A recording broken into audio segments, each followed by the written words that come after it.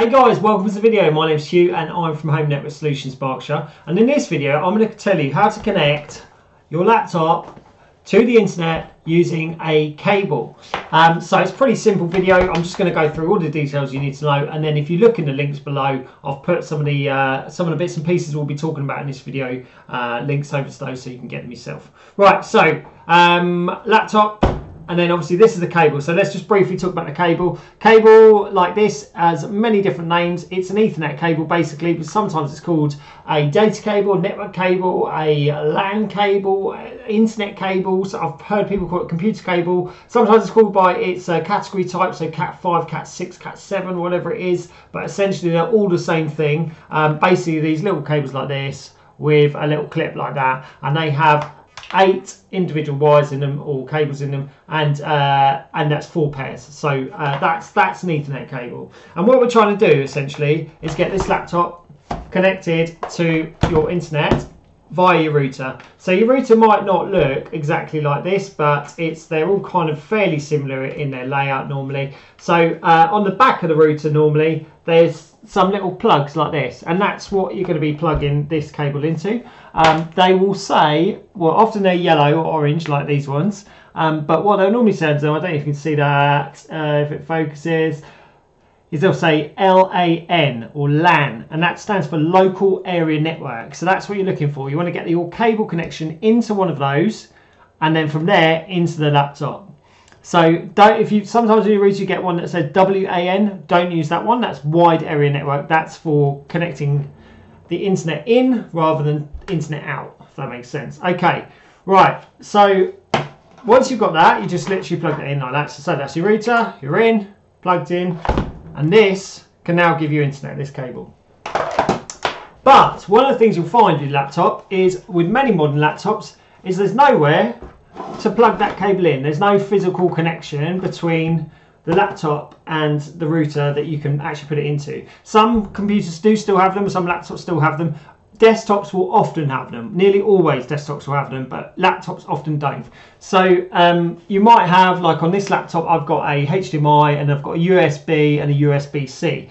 None of those are very helpful if you're trying to connect this. So let's just quickly um, talk about the difference between a USB and a USB-C. I've got a cable right here. Let's see things. Oh, here it is. Right. Um, so this is a USB, and this is a USB-C. USB-C, sorry. So USB-C is like you'd have on an Android phone as a charger, or the new iPhone 15s. They've got these uh, USB-Cs here, and then this is like the bigger one. That's the sort of standard USB, and those are the most common ones to have on a laptop. And either of them can be used to get this connection from the router to the laptop. So basically, what you need is you need an adapter like this.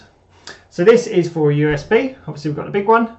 And then at the other end, it's got a little adapter bit and an RJ45 socket there. So that allows you to then plug that into, into there and then you put that into your laptop and you'll get that connection. So that's what we're looking for. Um, I've put some links into these. The key for this bit is if you want to get that really fast connection is to have um, is to get a gigabit one. So it has to be a gigabit one. Um, you might find that you don't have any USB, big ones like this, so you have to get one with a USB-C on it, which is absolutely fine. You'll also get some that are like multi-purpose, so like this one's a multi-purpose one, so it has got that RJ45 or that data connection there to allow you to plug this cable in, but it also allows you to do other things. So this one's a HDMI for a screen, it's got, um, you can plug in some SD cards for like memory and stuff like that, it's got some extensions of normal USB, so it's multi-function. But the key one for the internet is this one here, the RJ45. So that's what you're looking for. Um, there's many different brands. Amazon have got hundreds of them. You should be paying about twenty pounds. I suppose that's about twenty-five dollars in the US. Um, they come some right random names. Like I've never heard of Ugreen, but they always have a random name.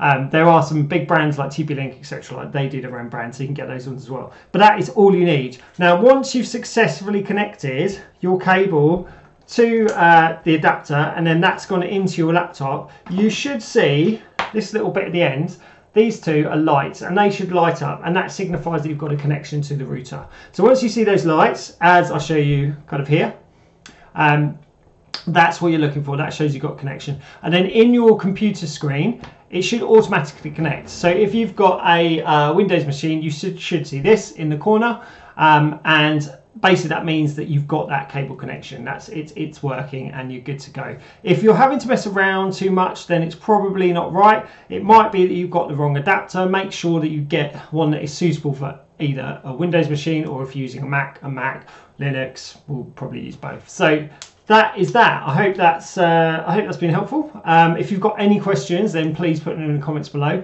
and uh, I'll try and answer them. And if there's enough of the same type of question, then we'll do a video on it.